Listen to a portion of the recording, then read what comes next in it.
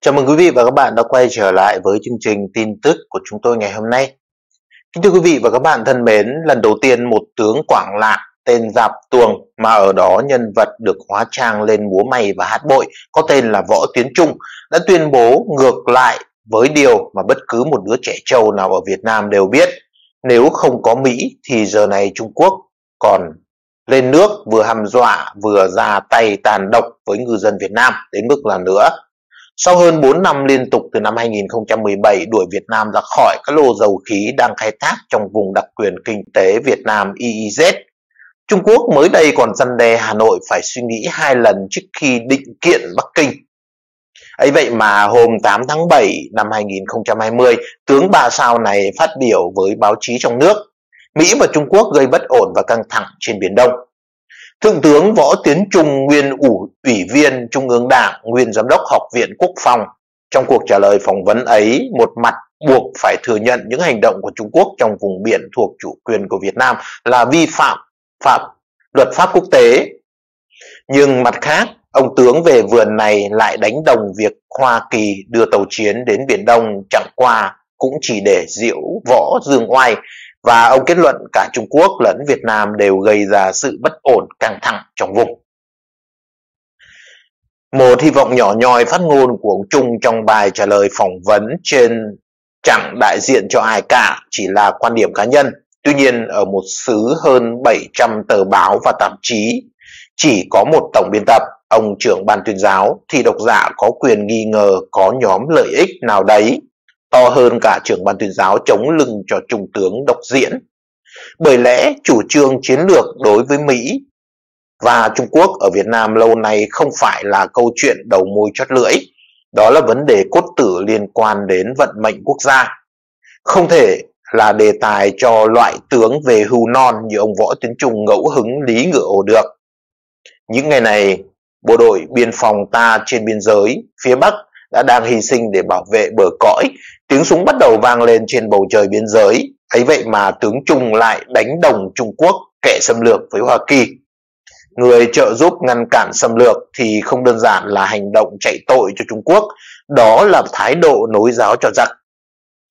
Vào lúc các làn sóng dịch bệnh phát đi từ Vũ Hán còn kịch tính khi tất cả các nước đang gồng mình chống lại đại dịch virus Vũ Hán, thì Trung Quốc lợi dụng tình hình khó khăn trên thế giới trong khu vực để múa gậy vườn hoang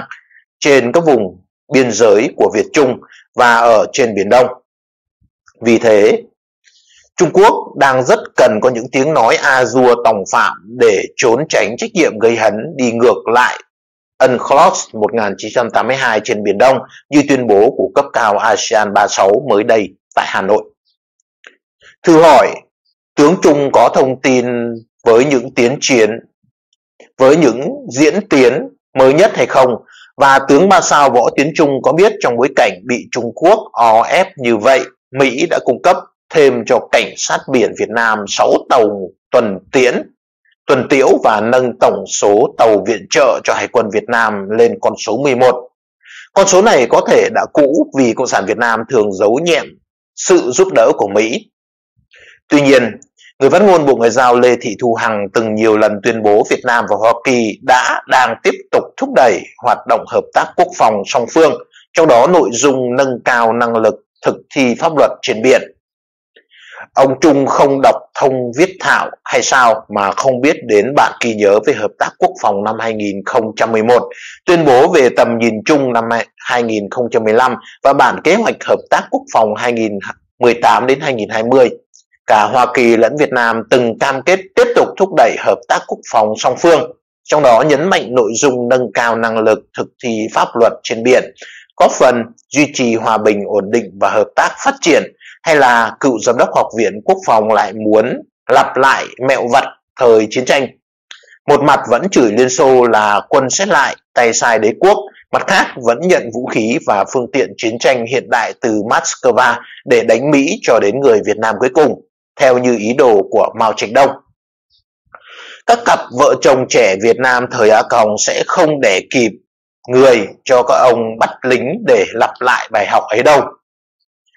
từng là giám đốc học viện quốc phòng, việc làm ngay từ Tổng Bí thư Nguyễn Văn Linh đối với tướng Trung chừng nào ông còn sống trong cõi này để muôn đời sau con cháu và dòng tộc họ võ khỏi mang tội là phải sửa ngay cái tiết lý chết người. Mỹ là đối tượng tác chiến của Việt Nam, của quân đội Việt Nam do ông và các đồng ngũ để lại chứ không phải là đi chạy tội cho Trung Quốc. Nếu không, đấy là một thảm họa cho quốc gia dân tộc khi mà các ông vẫn chưa hết cơn say máu đánh Mỹ đến người Việt Nam cuối cùng. Theo chủ trương của Trung Nam Hải, nói một lần nữa cho rõ là đánh đồng Mỹ với Trung Quốc trong tình hình Biển Đông đang như một vạc dầu do đích thân Tập Cận Bình nhóm lò và đun sôi lên lâu nay, nối giáo cho giặc là công khai hóa ý đồ rước, rước voi về dây mã tổ. Tập Cận Bình đâu có phải giấu chủ trương này của ông ta, y sang Việt Nam thuyết giáo cho 500 đại biểu quốc hội chỉ rồi chỉ một ngày sau từ Singapore y tuyên bố tất cả các đảo trên Biển Đông là của cụ tàu để lại từ ngày xưa. Dạo ấy truyền thông trong nước nhận được chỉ thị phải cấm khẩu suốt cả mấy tuần liền. Khác với dạo ấy, dịp này các chuyên gia trong nước ngay lập tức đã đồng loạt lên tiếng phê phán lối tuyên bố ma lanh mập mờ đánh lận con đèn của ông Thượng tướng Tiến sĩ Nguyễn Ngọc Chu trên Facebook của mình đã trưng ra dẫn chứng và bằng cứ không thể chối cãi chứng minh Trung Quốc từ lâu đã có những hành động vi phạm chủ quyền lãnh hải của Việt Nam. Bằng chứng đó xuyên suốt từ cuộc đánh chiếm Hoàng Sa tháng 1 năm 1974 kéo dài cho đến mới nhất, đó là vào ngày 4 tháng 7 vừa qua cho tàu cảnh hải cảnh Trung Quốc đã cho tàu hải cảnh 5402 tiến sát một cách khiêu khích đến dàn khai thác tại mỏ khí Lan Tây Đoạn thuộc lô 0601 mà Việt Nam đang khai thác. Sau đó hai ngày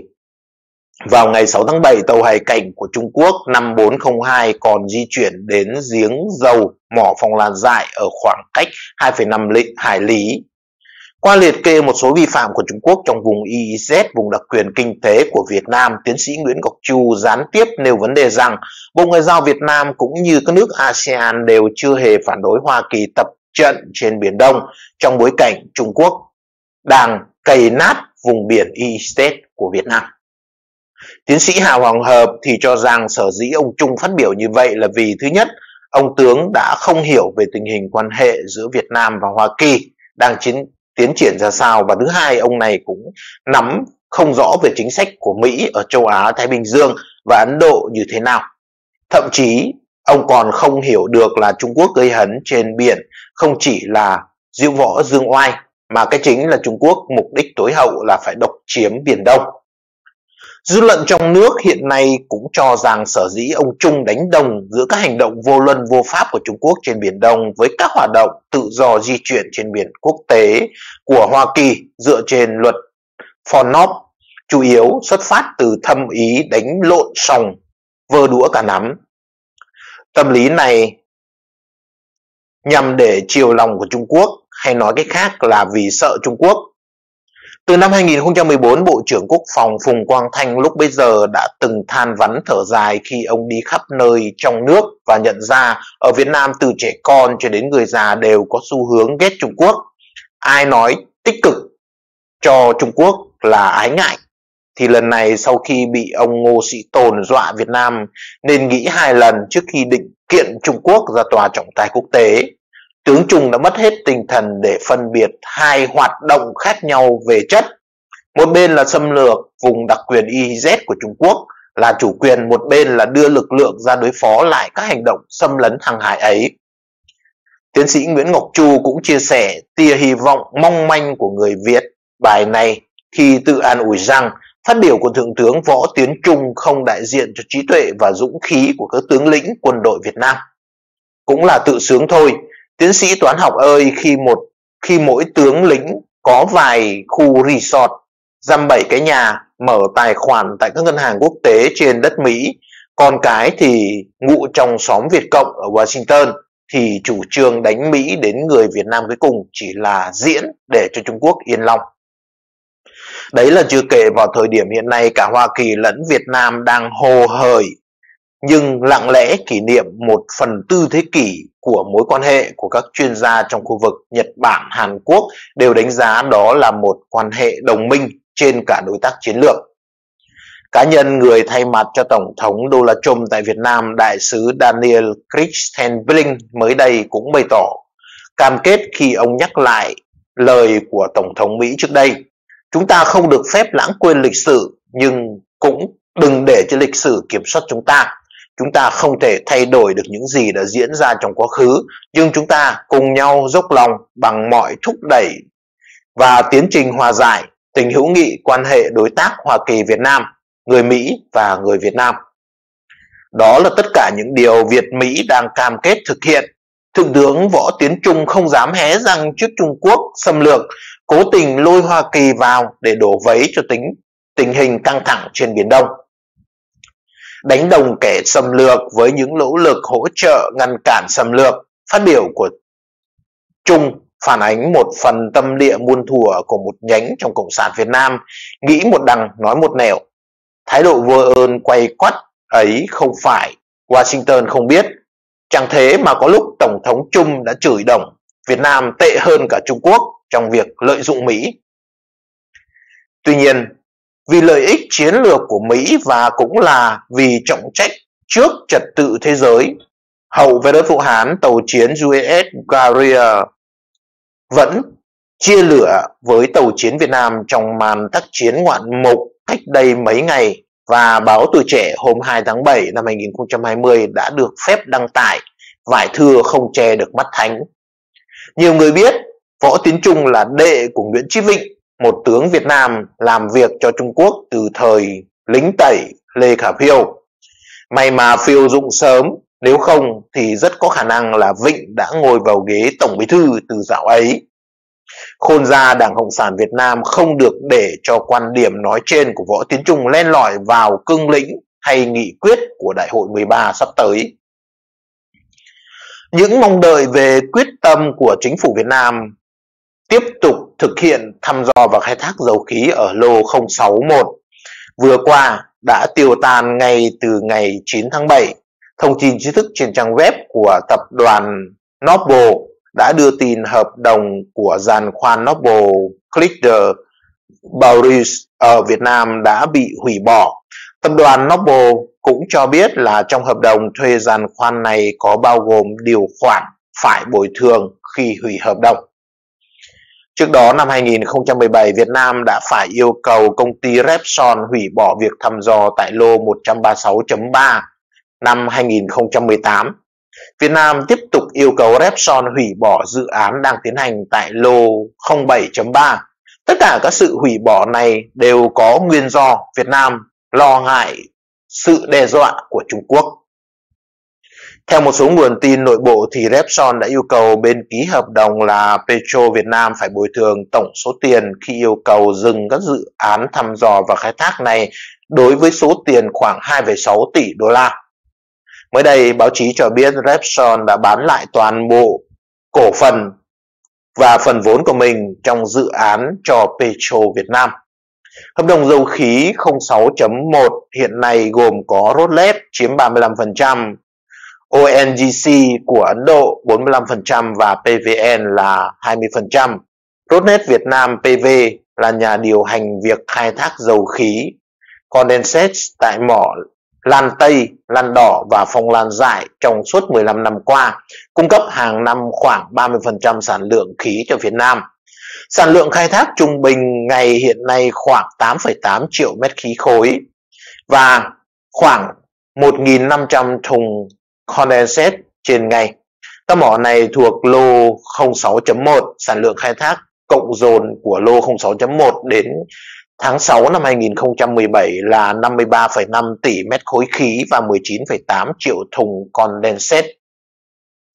Mặc dù Việt Nam vẫn đang tiến hành khai thác tại lô 06.1 này, tuy nhiên vẫn còn nhiều khu vực tiềm năng chưa khai thác vì vậy cần phải tiếp tục thăm dò và khai thác các mỏ mới ở lô này.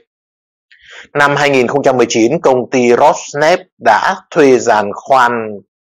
Hakuju 5 thuộc công ty khoan Nhật Bản CDC điều hành để tiến hành khoan thăm dò tại lô 06.1 từ ngày 15 tháng 5 đến ngày 30 tháng 7 năm 2019. Và đây cũng là lý do Trung Quốc đã đưa dàn đưa tàu cảnh sát biển được trang bị vũ khí hạng nặng Hải Dương 35111 vào khiêu khích xung quanh giàn khoan Hakuju 5 ở lô 06.1. Đồng thời, tàu Hải Dương địa chất 8 của Trung Quốc cùng với các tàu hộ tống tiến hành khảo sát địa chất trái phép trong vùng đặc quyền kinh tế và thềm lục địa của Việt Nam trong hơn 100 ngày liên tiếp. Chỉ khi giàn khoan Hakuju 5 kết thúc việc khoan thăm dò thì tàu hải cảnh Ba năm 111 của Trung Quốc mới chịu rút ra khỏi khu vực biển của Việt Nam.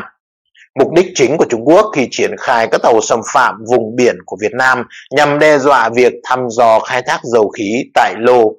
06.1. Cho dù lô 06.1 nằm trên bể Nam Côn Sơn, sâu trong vùng thềm lục địa của Việt Nam và theo quy định tại Điều 56 và Điều 77 UNCLOS 1982, Việt Nam có đầy đủ các quyền để thăm dò và khai thác tại lô 06.1 này. Dư luận đã tỏ ra phấn chấn trước thông tin Việt Nam sẽ tiến hành thăm dò tại lô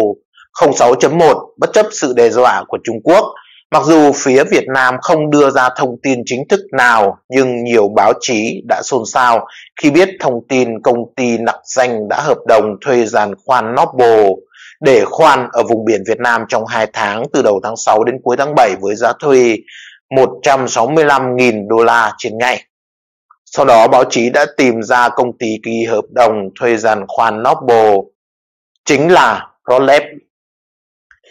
Hồi đầu tháng 6, Bộ Chính trị Cộng sản Việt Nam đã có cuộc họp để quyết định có quyết định thực hiện việc tiến hành khoan thăm dò tại lô 06.10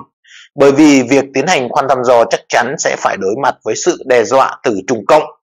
Nhiều người mong đợi Bộ Chính trị Cộng sản Việt Nam sẽ quyết tâm bảo vệ chủ quyền biển đảo của đất nước, thể hiện cụ thể qua việc tiến hành tiếp tục thăm dò khai thác tại lô 06.1 bất chấp sự đe dọa của Trung Cộng. Thế nhưng Bộ Chính trị Cộng sản Việt Nam đã không thể ra được quyết định trong trường hợp này, và điều này cho thấy Trung Quốc vẫn đang nắm phần thắng trong cuộc chơi ở Biển Đông, và Việt Nam vẫn chưa còn, chưa thể thoát khỏi nỗi sợ từ Trung Quốc. Việc không thể thăm dò tại lô 06.1 lần này thấy nguy cơ đe dọa đến ngành dầu khí Việt Nam vốn là một ngành kinh tế mang lại nhiều lợi ích quan trọng cũng như đóng góp một vai trò quan trọng trong chiến lược phát triển kinh tế của Việt Nam. Rất nhiều mỏ dầu khí của Việt Nam đã cạn kiệt hoặc không thể khai thác vì nhiều lý do. Trên trang cá nhân của ông Nguyễn Lê Minh, thành viên Hội đồng biên tập tạp chí Năng lượng Việt Nam, ông ta đã liệt kê một số mỏ dầu khí có nguy cơ dừng khai thác bao gồm mỏ Kinh Ngư Trắng, Kinh Ngư Trắng Nam, lô dầu khí 09209 Bể Cửu Long, khoan phát sinh chưa được quyết toán chi phí lên đến 28,5 triệu đô la do chưa cập nhật trong báo cáo đầu tư. Hiện lô dầu khí này chưa đạt được thỏa thuận chuyển nhượng VSP do quan điểm khác nhau về chi phí lịch sử liên quan đến chi phí này. Thứ hai là mỏ Thăng Long Đô Đông, lô dầu khí 0102 trên 97 bể Cửu Long, phân cấp trữ lượng không chuẩn theo quy định 38 dẫn đến sản lượng rụt sụt giảm nghiêm trọng dưới 4.000 thùng dầu trên ngày đang tiếp tục sụt giảm thua lỗ và có nguy cơ dừng mỏ sau 8 năm hoạt động trên tổng mức đầu tư khoảng 2,5 tỷ đô la trong vòng đời 20 năm khai thác. Thứ ba là mỏ gấu chúa, cá chó, lô dầu khí 10, 11 trên 1 bể Nam Côn Sơn, đánh giá chữ lượng không tuân thủ tài liệu gốc dẫn đến sai số và phải khoan thẩm lượng lại và tốn thêm chi phí là 110 triệu đô la không cần thiết, dự án đắp chiếu Thứ tư là mỏ sông Đốc, lô dầu khí 46 trên 13, bể Malay, thổ chu. Sau 10 năm hoạt động, sản lượng hiện nay chỉ còn dưới 1.000 thùng dầu trên một ngày, đang tiếp tục sụt giảm do mỏ ngập nước hơn 90%, dự kiến dừng mỏ. Thứ năm là mỏ rồng đôi, Dòng đôi Tây, bể Nam Côn Sơn sản lượng khí không đủ bù theo cam kết hợp đồng mua bán khí dù nhà điều hành đã có một số biện pháp nâng cao hệ số thu hồi dầu khí. Hiện mỏ đang dừng hoạt động và dừng khai thác do sự cố kỹ thuật đến năm nay và có nguy cơ dừng hạn. Trong khi đó, những mỏ có trữ lượng lớn như cá kiếm nâu tại lô 136.3 và mỏ cá rồng đỏ tại lô 07.3 lại không thể khai thác vì sự đe dọa từ Trung Quốc. Ngày 9 tháng 7, đại sứ tại Việt Nam Daniel Chris Brink liên tiếp lên tiếng phản đối Trung Quốc can thiệp vào việc khai thác dầu khí ở Biển Đông. Trong buổi giao lưu trực tuyến với độc giả trên Vietnamnet ngày 7 tháng 7, ông đã phát biểu rằng chúng tôi phản đối nỗ lực của một số nước trong khu vực nhằm tìm cách can thiệp vào hoạt động thăm dò năng lượng vốn đã có lâu đời ở Biển Đông bao gồm Việt Nam tại những lô được thiết lập lâu nay. Chúng tôi nghĩ rằng điều quan trọng các quốc gia không sử dụng vũ lực hoặc hành động cưỡng ép hoặc bắt nạt để tìm sự thúc đẩy lợi ích của họ. Trước đó, tại một cuộc họp báo ngày 2 tháng 7 nhân dịp kỷ niệm 25 năm thiết lập quan hệ ngoại giao Mỹ-Việt, đại sứ Christian Brink cũng đã lên tiếng phản đối các hành động của Trung Quốc trong việc can thiệp và cản trở các quốc gia khai thác dầu khí trên Biển Đông. Ông nhấn mạnh, đặc biệt chúng tôi phản đối Trung Quốc và cố gắng cản trở các nước ASEAN tiếp cận khai thác nguồn tài nguyên có trị giá 2.500 tỷ đô la tại vùng biển này. Chúng tôi cho rằng Trung Quốc lợi dụng cuộc khủng hoảng virus Vũ Hán gây ra để tăng cường khiêu khích và thể hiện sự hiếu chiến trên Biển Đông của họ vì lợi ích của họ Mỹ phản đối Trung Quốc hay bất kỳ nước nào sử dụng các biện pháp cưỡng ép để gia tăng các tuyên bố chủ quyền trên Biển Đông. Trung Quốc cần dừng lại các hoạt động mang tính khiêu khích, làm ảnh hưởng đến sự ổn định trong khu vực. Điều đáng lưu ý là cách đây vài ngày, nhân trả lời báo chí Thượng tướng Võ Tiến Trung, nguyên ủy viên Trung ương Đảng, nguyên giám đốc Học viện Quốc phòng cho rằng hành động của Trung Quốc và Mỹ đã gây bất ổn và căng thẳng trên khu vực Biển Đông. Trung Quốc diễn tập quân sự trong vùng chủ quyền của Việt Nam là vi phạm chủ quyền, còn Mỹ cũng tiến hành tập trận trong khu vực Trung Quốc tập trận cũng là hành động gây căng thẳng. Với phát biểu này từ một tướng quân sự đã từng là giám đốc học viện quốc phòng thì chúng ta có thể hiểu được thái độ một phần đông các giới chức quân sự Việt Nam vẫn còn cách nhìn thiếu thiện cảm với Hoa Kỳ. Mặc dù vậy, các giới chức ngoại giao Mỹ và Việt Nam vẫn nhận thức rất rõ những bước tiến vượt bậc trong quan hệ của hai nước. Tuy nhiên,